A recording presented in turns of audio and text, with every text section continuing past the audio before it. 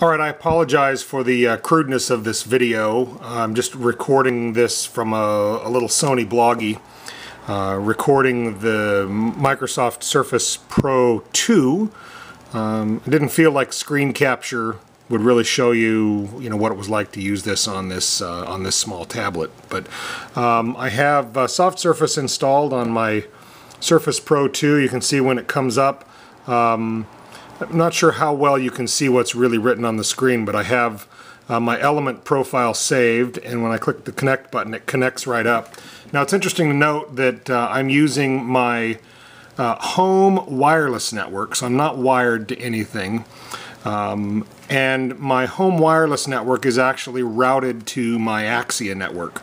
So because Soft Surface is just a control, there's actually no live wire that takes place, so this could actually be used um, on a standard wireless network, which I'm using here. Uh, it could be used remotely via VPN or you know some other connection back to the console. And you can see the meters work pretty well.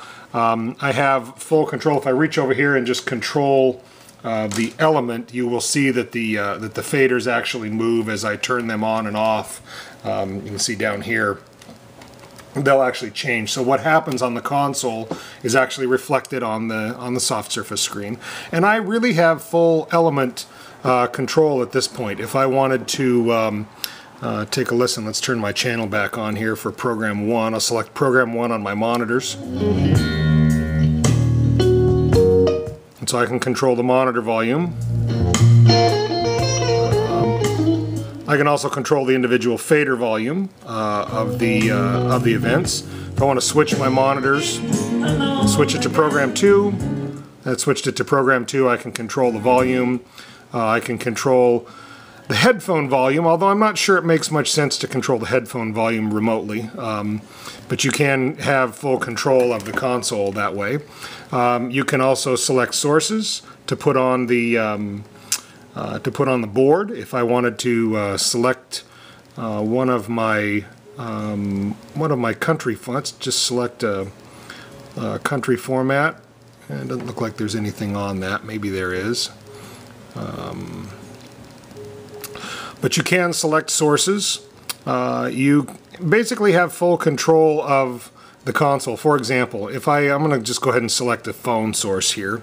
Turn that off so I actually load the phone. Um,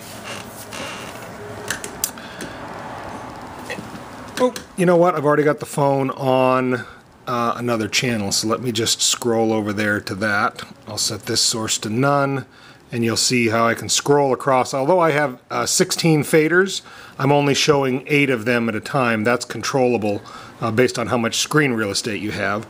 But if I want to change the phone settings, uh, let's say I wanted to change the uh, the mix minus that was going to the phone, um, I can actually control what's feeding the phone backfeed. Right now it's in auto. If I wanted to set it uh, to just have a program 1 feed, uh, now it's feeding program 1 and I don't know whether you can see the little meters up here in the corner. We have little confidence meters uh, that basically tell you that all that stuff is, uh, is working. So full control of the console. Um, you know, this is a pretty small tablet. I would say a larger uh, tablet would be better.